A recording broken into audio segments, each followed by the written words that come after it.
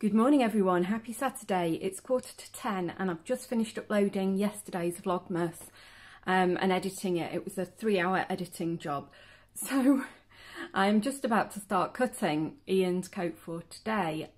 I have come across a couple of problems. The first one is when I overlocked the first side piece, the um, differential feed was set too tight and it gathered the sides up and it shrunk the piece of wool and then the piece of fabric and then in trying me trying to iron it back out again I think I may have shrunk the wool with the steam. So I don't know if I can manage to stretch that piece back out. Probably I don't think I've got enough fabric to recut it. But it's coming up as about an inch shorter than the other side. Um, but it's whether or not I can stretch the lines to meet each other. When I come to sew it it's a bit of a nuisance so last night I cut the front, the back and the two front sleeve pieces. I've got the two back sleeve pieces to cut now and that's what I'm going to get on with.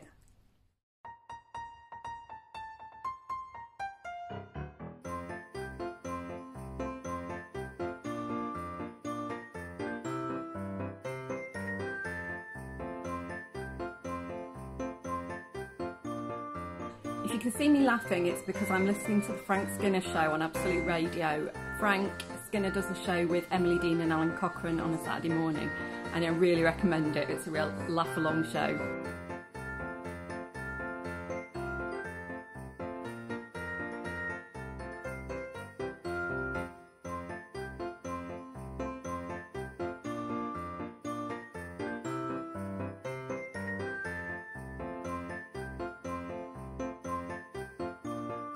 I have reached meltdown point with it and so I'm going to step away for a bit and I've got a cracking headache so I'm going to go and have a bit of a lie down.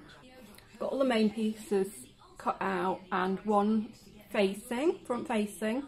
I'm going to have to piece together the other facing and I knew that that was going to happen because I just didn't anticipate needing so much fabric because this pattern has such a large repeat that it's basically almost taking a metre of fabric just to cut one piece and then you're having to cut the next piece in the next metre and I'm sure a cleverer person than me could have worked it all out in advance and worked it out more efficiently.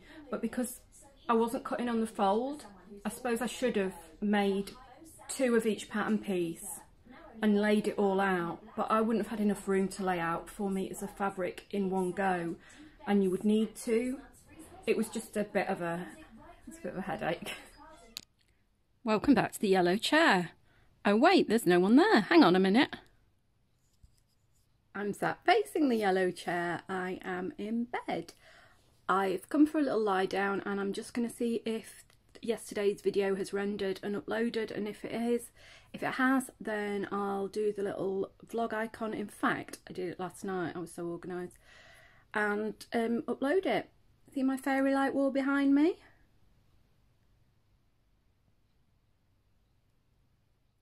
This is my bed of activities. I'm going to see if I can get that vlog up and then I'm going to read the instructions for the McCall's pattern that came free in the Love Sewing that I bought yesterday because I really like the look of it.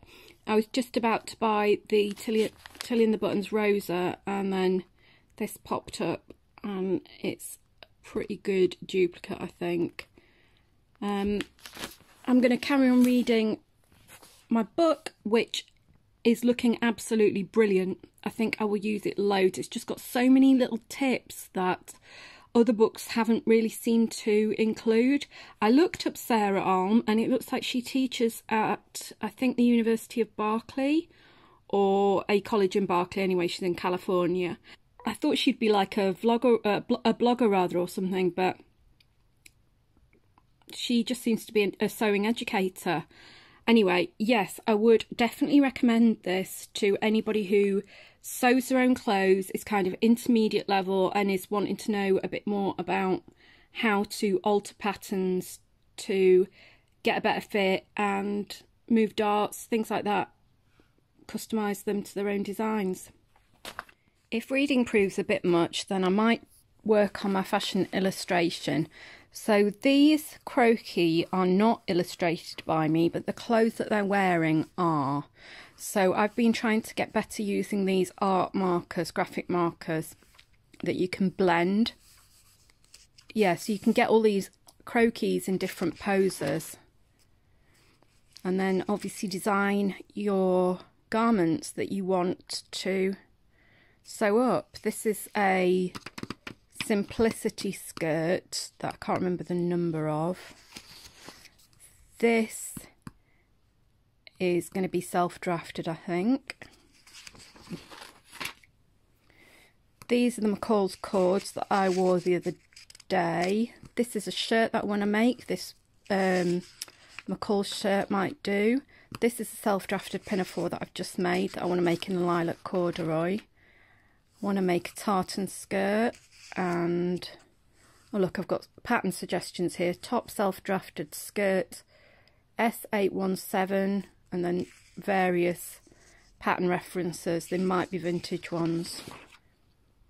These are the McCall's cords that I want to make up in like a maroon corduroy. It looks much more purple there that, that I've illustrated it with like a rose pink top. I've got some teal cord as well.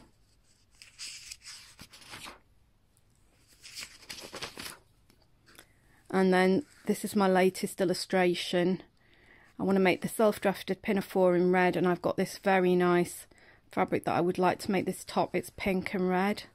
I really like that picture and it shows my leopard skin brogues that I just bought. Uh, it's 20 to 2 in the afternoon. I've been and tidied up so that everything's ready um, and everything's hidden for when Ian comes back, which will be about half three. I've been reading the Palmer Pletsch information that comes with this pattern and it's absolutely brilliant. It looks great for fitting issues. So I'm really looking forward to giving that pattern a go and I've got some really nice red needle cord that it will just look brilliant in. I plan to make a shirt like that. So that's going near the top of the list. I have just made myself a banana and, well, not made myself a banana, got myself a banana and a hot cross bun. And I'm having, I'm having a lovely cup of milky chai tea uh, and a squish. And then I'm going to have a sleep because I just feel absolutely bang out knackered. See you in a bit. I'm just catching up on Alex's Vlogmas. This is Alex Judge Sews. Um, I'm also watching Rachel from Stitched Up, obviously, she's my pal, and I have watched some of the Stitch Sisters, although I'm getting a bit behind on those, and I'm also following the So This Is Vlogmas. Which Vlogmases are you following, apart from this one, obviously?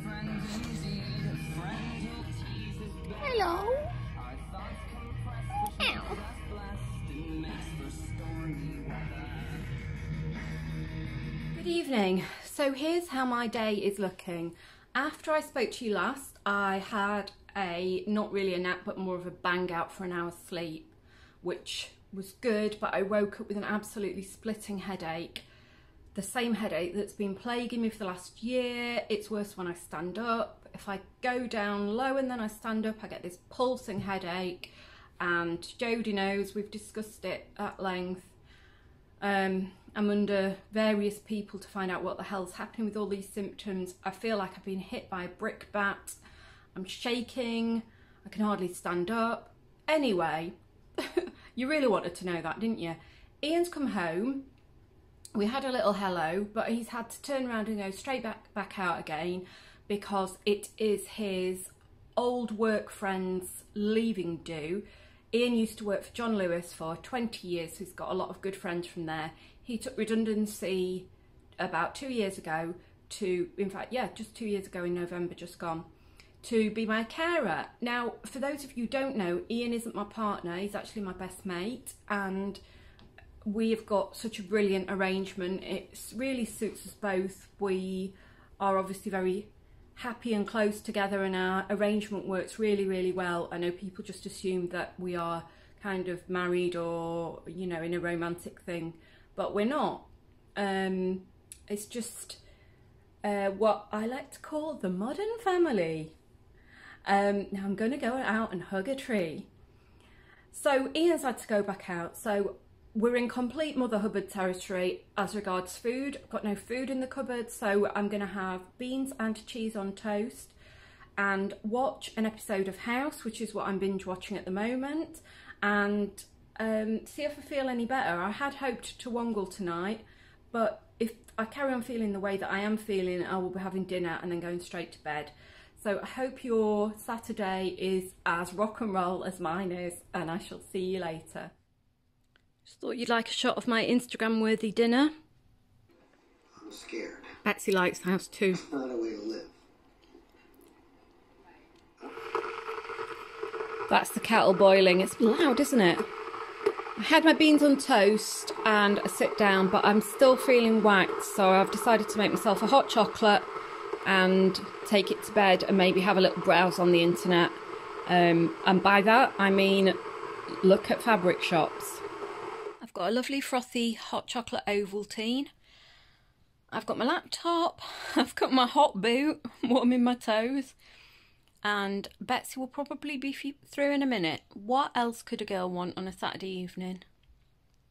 Hey, I was watching House just now, and the storyline was about a patient who was in, uh, had, they had got locked in syndrome, and somebody, one of the doctors came in and was talking to him about how the brain is a muscle, and they were basically told that they'd got to keep the patient occupied mentally and entertain the patient Betsy's just come in. Um, because the brain's a muscle, and if you don't work it, it atrophies. And I thought, yeah, I think that that's really what my last couple of years of being locked in the house has kind of done for me in terms of my brain is just kind of rotting away, and my body actually. I walk so few steps a day that all my muscles are wasted. So then when I do try and do something, I'm absolutely knackered. And if I had doctors that were interested in rehabilitating me and getting me out and getting me physically active and getting me mentally active, I think I'd do a lot better. But doctors at the moment, I've been told that as a person with bipolar disorder, it's better that I don't overexert my brain because of the risk of uh, triggering a manic episode and that I should get used to being depressed. Really, quite very backwards at- attitudes we've still got. Um, I mean, you, just can't believe that that wasn't even the doctor that I saw the other day. That was one of my previous doctors. You can't believe that doctors are telling patients that. You know, I, I was sort of ap- appealing to my doctor this week and saying, I have got an inquiring mind, I've got a lively mind, I need to be stimulated, and there's just zero interest in what I'd call occupational therapy um, as a way of getting trying trying to recover from bipolar episodes or depressive episodes. No interest whatsoever. I know that if I went to the gym, I would be able to cure my depression without antidepressants. I know I would be able to, but there's no way I can get there without having some professional help to help me get over the barriers that I, uh, uh, you know, that I encounter just trying to get out the house, trying to get in the shower, put my makeup on. All these things are uh, like enormous barriers that I have to overcome. And I know that when I talk to you lot, there's loads of you who encounter similar barriers. So I know I'm not, you know, I'm preaching to the converted, aren't I? Really. Anyway, I don't really know what the point of that was, but it was it just struck me as interesting. And I do think that doing this Vlogmas is really helping me because I guess normally I don't maybe you're my therapist. I don't normally speak to people much. You know, me and Ian, we kind of laugh and mess about and chat about daily things, but it's not reflective in the same way. Anyway, I am waffling. I think I'm going to say goodnight for tonight because, yeah, I think I've, I've really done nothing of interest today, really. Um, so I will hope that tomorrow will be a bit more interesting day and I shall wish you lots of love. And I can't blow a kiss because I'm holding the camera with one hand and my hot chocolate with the other. But I send you love from Camden. Bye.